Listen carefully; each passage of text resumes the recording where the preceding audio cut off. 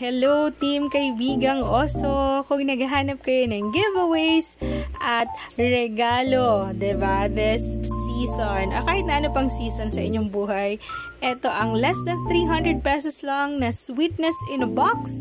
280, ito na ang laman ng sweetness na yan. Sweetness overload, meron tayong KitKat, meron tayong Hershey Nuggets, at higit sa lahat, ang favorite nating lahat, meron tayong Cadbury chocolate na 160 grams. At syempre mamaya pag sinarado natin yung box na yan, ay mababasa din natin ang word, especially to inspire us.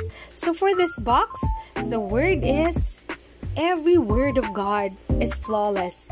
He is of shield to those who take refuge in Him.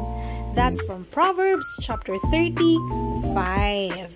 So, order na kayo guys ang sweetness in a!